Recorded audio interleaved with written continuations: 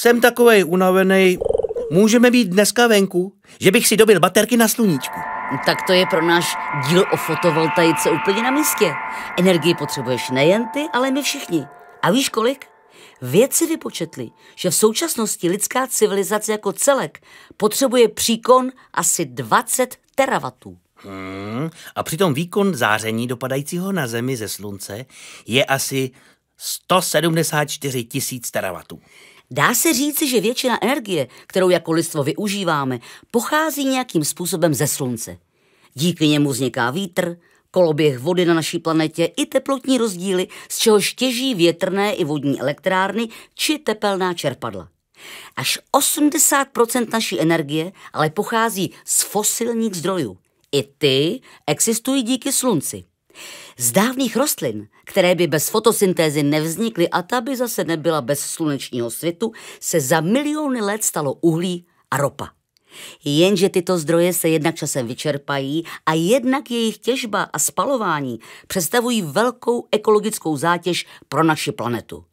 A přitom máme k dispozici nevyčerpatelný zdroj čisté energie z naší hvězdy. Jen ji potřebujeme dokázat využít a proto se raketově rychle rozvíjí právě energetika, která proměňuje sluneční záření na elektřinu ve fotovoltaických článcích.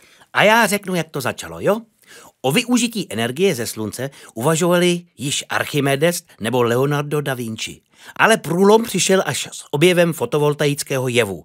V roce 1839 zjistil 19-letý Edmund Becquerel, že když osvítíme elektrody pokryté chloridem nebo bromidem stříbrným, tak vzniká elektrické napětí a proud.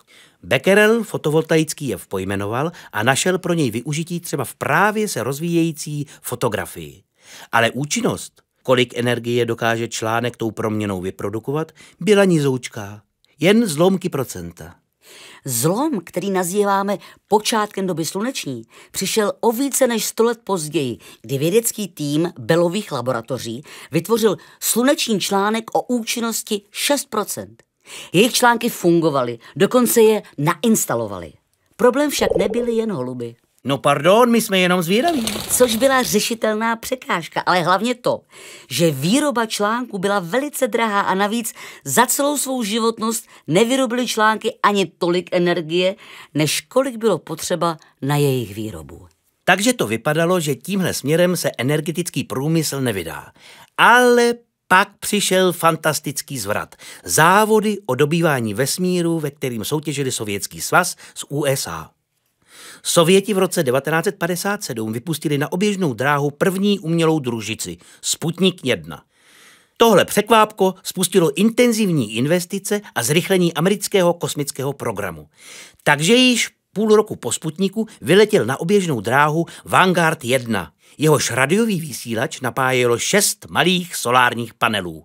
Díky nímž Vanguard, kterému se kvůli jeho velikosti Nikita Chruščov vysmíval, že je to grapefruit na oběžné dráze, dokázal vysílat signál celých šest let. Oproti Sputníku jehož baterie se vybily už za několik týdnů.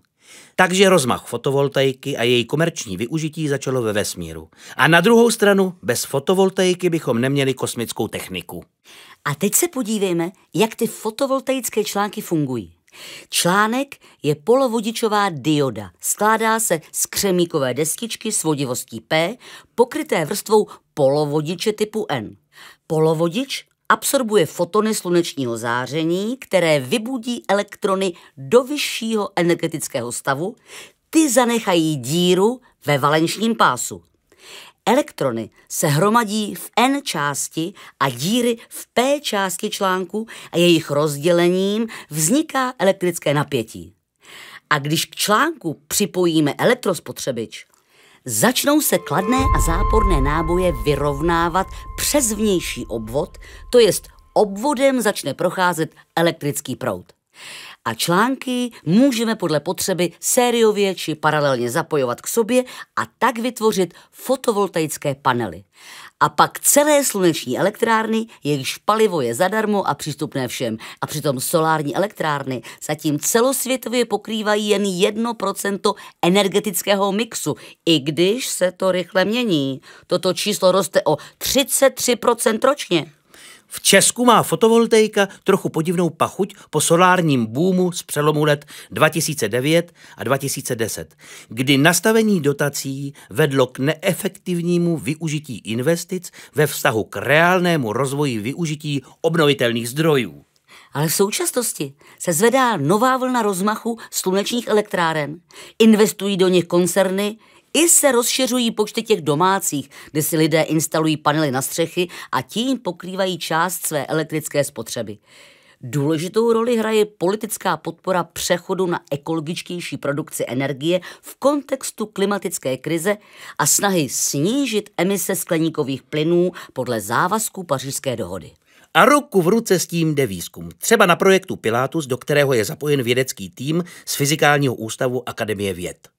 Pracují na tom, jak samotnou výrobu fotovoltaických článků co nejvíce zefektivnit a aby byla ekologická a udržitelná. A také zkoumají nové materiály.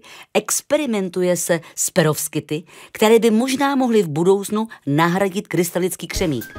Hlavní snahou je, aby články byly ekonomicky dostupné, ekologické a měly co nejvyšší účinnost. Abychom tu energii, co nám sluníčko posílá, dokázali co nejlépe využít.